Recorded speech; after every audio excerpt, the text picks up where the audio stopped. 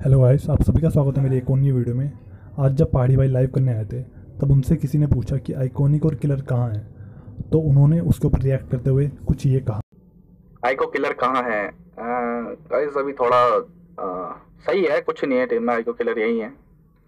ऐसा कोई दिक्कत नहीं है। अभी फ़िलहाल इधर ही है। आगे कुछ होता है अपडेट देंगे। अभी ऐसा कुछ नहीं है टीम में जैसा तुम सोच रहे हो सबको सही चल रहा है। कोई दिक्कत नहीं। एंड रही बात फ्री फायर बैन होने की तो वो भी कुछ दिनों में सही हो जाएगा, टेंशन मत लो। उसके लिए भी तुम ज़्यादा टेंशन हो सुबह पता है क्या